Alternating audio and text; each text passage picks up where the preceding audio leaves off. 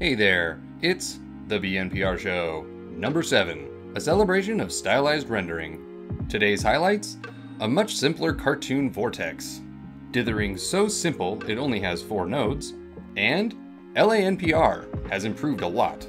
Let's dive into the show. If the idea of making a spinny vortex from the previous show still spins your head, then this one will make it very clear, since it is much simpler. Chris Kierford wrote an interesting cartoon wind vortex tutorial on the Blender Artist forum. There are three meshes with a cylinder shape. Each object is set up pretty much the same, except one of the meshes with two extra object modifiers. The overview of the modifier stack looks like this. 1. At the top, Vertex Weight Edit. This is for the first vertex weight with a cloud texture. 2. Another vertex weight edit, in this case, a gradient weight. 3. A vertex weight mix modifier to mix the two vertex weight edit modifiers. Note, a vertex group is needed with each vertex weight modifier to store the vertex weights. 4. A mask modifier to mask off the unwanted vertices. 5. A simple deform modifier to deform the mesh to a spin.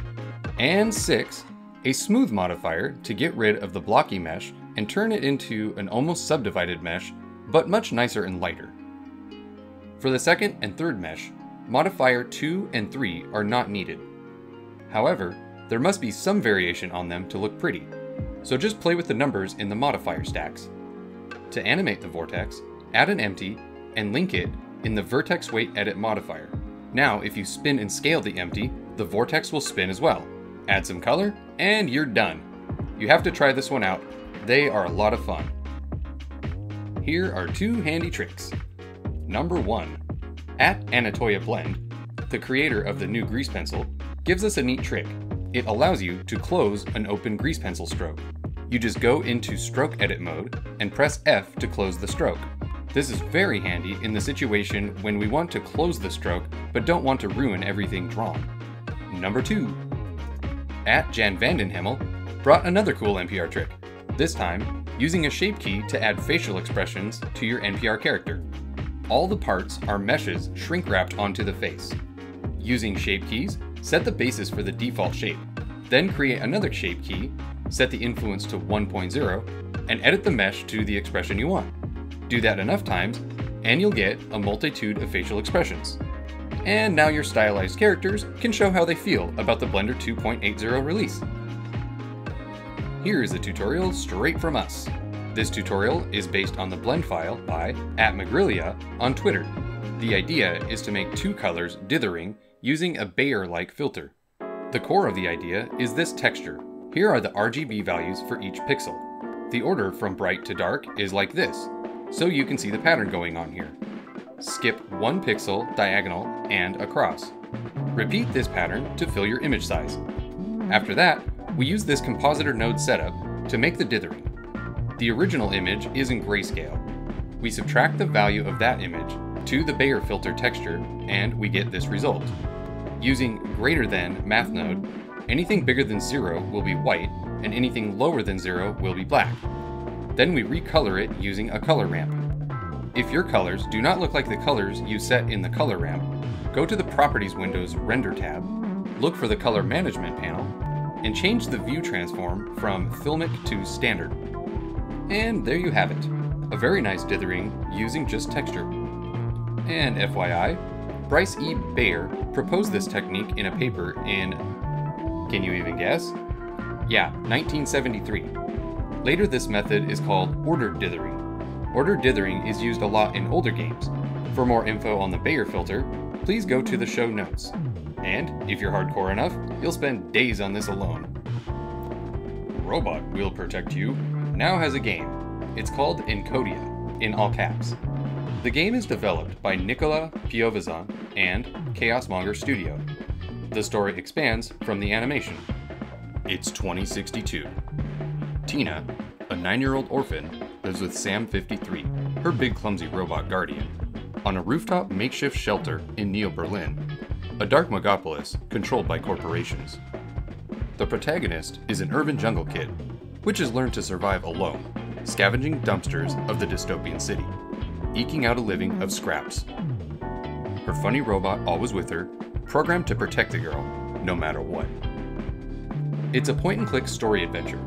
We solved puzzles, ogled at the artworks and designs, and brainwashed into the excellent world building audio. We were totally hooked on it for hours. If you want a test of the adventure, then go download the demo. Link to the demo is in the show notes. And yes, they're going to do a Kickstarter soon, so we'll update you on that. Arthur Markle is at it again. Kobe is digging holes. Go watch it. Don't want to spoil it too much. My Scary Lawnmower Story. Even if you can't draw, like Arthur Markle, you can do what CG Geek has done. Don't care about the quality of the art style, just tell the story as is. It's a pretty fun story, so go watch it. Oliva. When you embrace noise, you get Oliva by Geraldo Fagner. The animation has lots of noise and is quite atmospheric.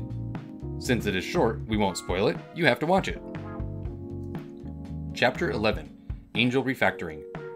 MiHoYo Anime made an awesome animation for the game Honkai Impact, which we previously covered in this show. It's Chapter 11 Angel Refactoring. Too much awesomeness in this. We had to watch it in slow motion and multiple times. Maybe you can pick up a few tricks from the animation. One Punch Cat, Saita Meow, the hero. You only need one punch for impact in Dylan Gu's latest animation. Saita Meow has a new challenger. How many punches Saita Meow needs to beat his opponent? One? No more spoiler. Go watch it after the show. On to Artworks of the Month. This month, we have selected the best of the best artworks made in Blender. Maybe you can pick their brains using the links in the show notes. Anyway, let's see the good stuff.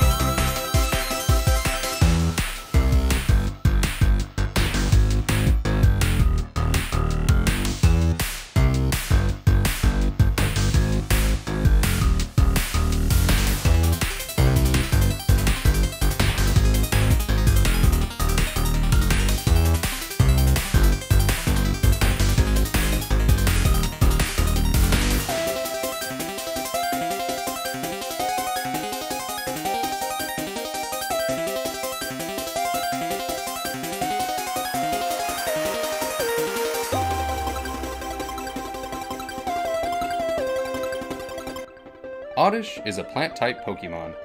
This artwork has so many things done right. The emotion is perfect with the animation, the colors used to fit the atmosphere, the gradients are perfect. You can still see the texture painting strokes in the model. This must be the happiest Oddish we have ever seen. It's pure joy. Congrats to Soulfire for stirring our souls. This just in. overlapping grease pencil strokes is a thing of the past. Now you can treat all strokes like a fill. This frees up more use cases for grease pencil. We love this feature very much. Thank you, Antonio Vazquez. LANPR, the real-time line art has a few major enhancements. Single CPU thread line chaining on a super huge scene has gone down from about 600 seconds to about 1 second. I would say that's a major speed up. The calculation of line intersection, which used to be done when you press the update button, is now done in real time. You can see it happen as you overlap the meshes. This is super convenient. LANPR now has a basic SVG exporter. It only generates the strokes in the text editor for now, but it's a good start. Great for SVG diehard users. Wu Yiming, keep up the good work. We are totally behind you. If you are new here, welcome, and please subscribe. Tell your friends about the show as well.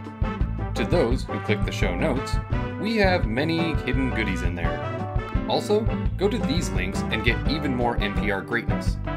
If you would still like to see the stylized documentary, as mentioned in the fifth show, be one of the cool patrons of the show on Patreon. We need 200 of you to make that happen. I would like to now personally extend extreme gratitude towards everyone who supported Light BWK in his GoFundMe campaign. We have literally ran out of ways to say thank you, but still, thank you again just another 2000 to make sure he can make the next show happen. So if you can, go help him out. Before we go, one last question. Will you compile Blender just to test LANPR?